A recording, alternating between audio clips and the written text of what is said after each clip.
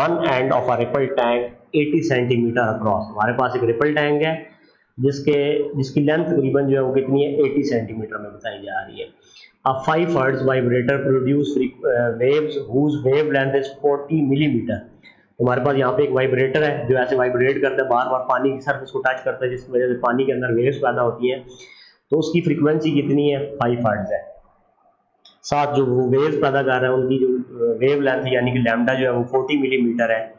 Find the time find the time the wave need to cross the tank तो हमने वो time find करना है जिसमें ये हमारी वेव क्रॉस कर जाए, इस टैंक को यहाँ से क्रॉस करते करते यहाँ तक पहुँच जाए। तो हमने वो टाइम कैलकुलेट करना है। तो हमें width of the ripple tank दी गई है डी ठीक है, ये 80 सेंटीमीटर है। इसको हम मीटर में चेंज कर लेंगे लेंथ क्योंकि मीटर उसका यूनिट है तो 80 बाई हंड्रेड करेंगे तो 0.8 मीटर हमारे पास आ जाएगा। फ्रीक्वेंसी एफ़ जो है वो फाइव हर्ट्ज है। और वेव लेंथ हमें गिवन है 40 मिलीमीटर तो मिलीमीटर से मीटर में जाने के लिए थाउज़ेंड से डिवाइड करेंगे, क्योंकि एक मीटर में थाउज़ेंड मिलीमीटर मिलीमीटर होते हैं।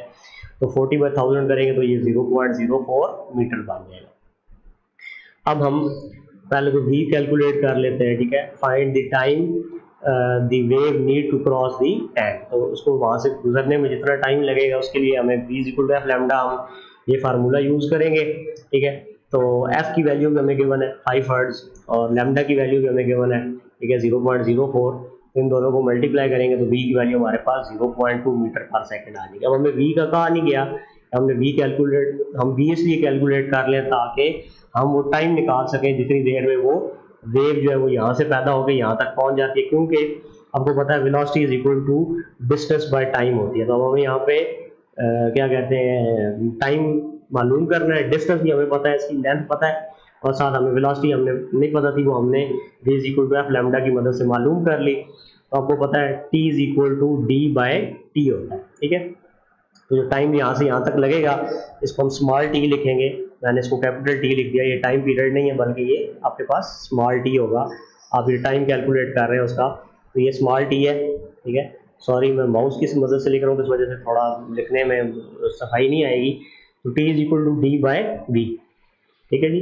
डिस्टेंस डिवाइडेड बाय वेलोसिटी अगर आप करेंगे तो आपके पास टाइम आ जाएगा, ठीक है? V is equal to d by t होता है। तो आपने इस फार्मूले में जब आप चेंज करेंगे तो टी उधर चला जाएगा वी इधर आ जाएगा तो t is equal to d by v हो जाएगा। तो यहाँ से अब आप इसमें वैल्यूज़ पोट कर हैं t is equal to d की जगह आ जाएगा ज़ीरो पॉइंट ज़ीरो एट और वी की जगह आ जाएगा जी ज़ीरो पॉइंट टू ठीक है, ये स्मॉल टी है, इसको मैं चेंज कर देता हूँ।